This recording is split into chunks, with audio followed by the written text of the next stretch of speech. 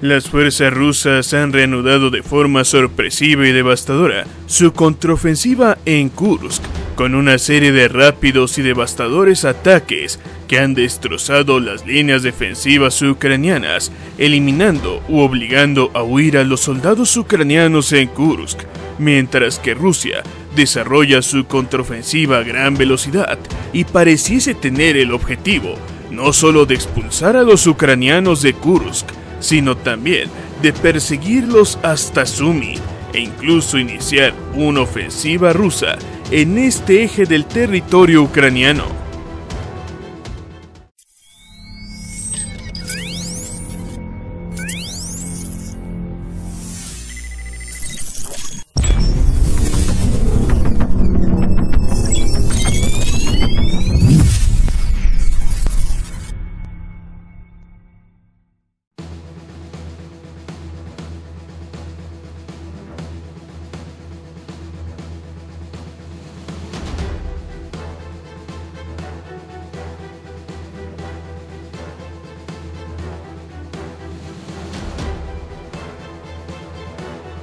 Hacia el día 11 de octubre de 2024, las tropas rusas lanzaron un ataque con misiles contra objetivos enemigos en las regiones de Odessa y Kramatorsk. En dirección a Pokrovsky, las tropas rusas lanzaron un feroz ataque en dirección a Novogrodovka. Y hay enfrentamientos en las afueras occidentales de Selidovo. En dirección a Donetsk, las Fuerzas Armadas rusas tomaron el control de Ostrovsky y al oeste de Ostroy, lo que abre la perspectiva de un ataque a Kurahovka desde el sur. Sin embargo, la mayor sorpresa la han dado los rusos en Kursk con la reactivación de su contraofensiva.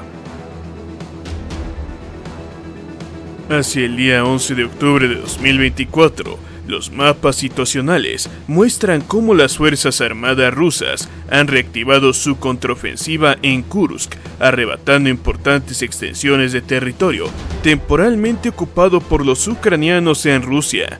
Con estas acciones, el ejército ruso busca destrozar a las formaciones en el territorio ocupado y potencialmente perseguirlos hasta Sumi, en territorio ucraniano. En redes sociales como X, el periodista del diario alemán Bild, Julian Ropke, lamenta que la ofensiva ucraniana en la región de Kursk nunca llegara al río Seim y que tampoco lograra completar la toma de Gluskovsky.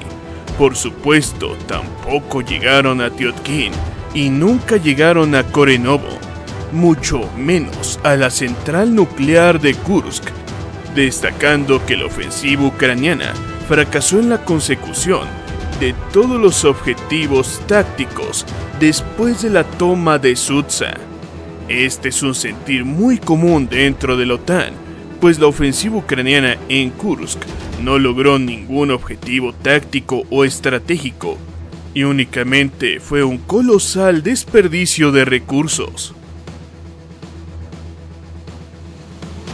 En estos momentos, mientras hablamos en el distrito de Gluskovsky, cerca de Vesely, las Fuerzas Armadas rusas lograron empujar al enemigo hacia la vía férrea y acercarse a la nueva estación de trenes.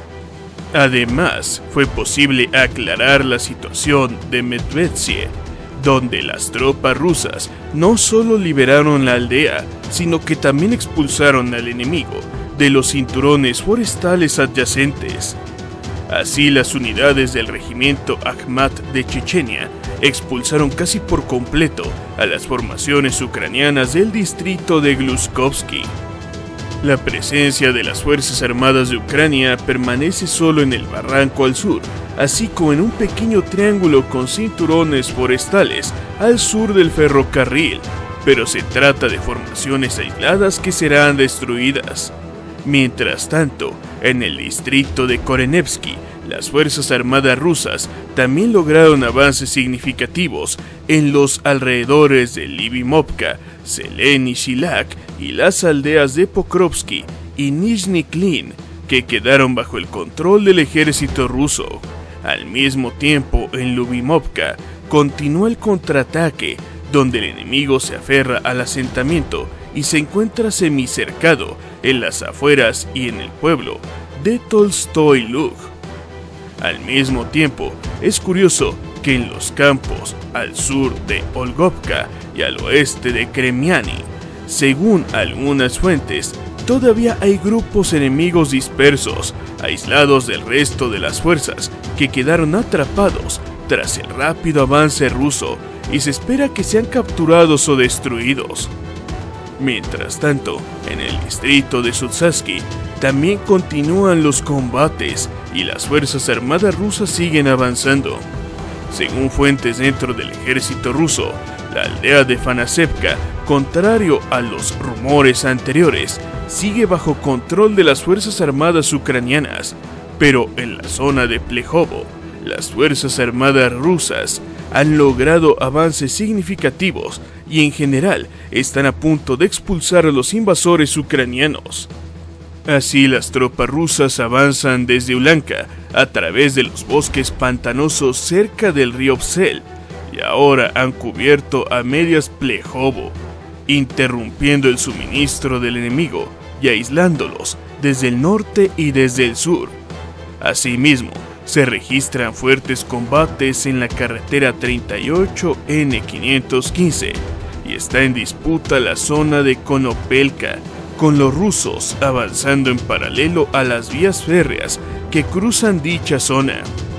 En la ciudad de Sutsa se están liberando batallas, pero los informes son contradictorios, con fuentes que afirman que los rusos entraron a la ciudad, mientras que otros aseguran que los combates aún se desarrollan a las afueras de la misma.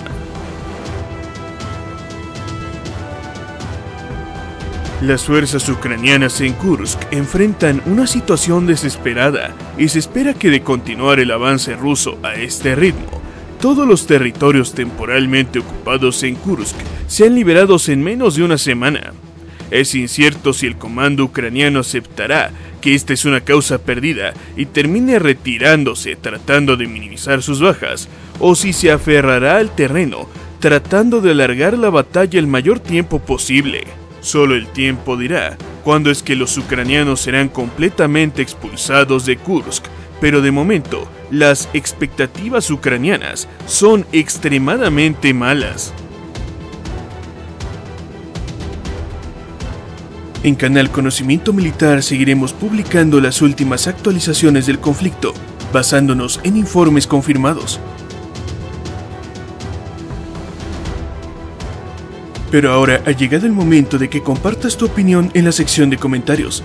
Y si este video te pareció interesante, te invitamos a suscribirte a Canal Conocimiento Militar. O si ya lo estás, a dar like y compartir el video. Pero no olvides visitar nuestro nuevo canal Historias de Guerra,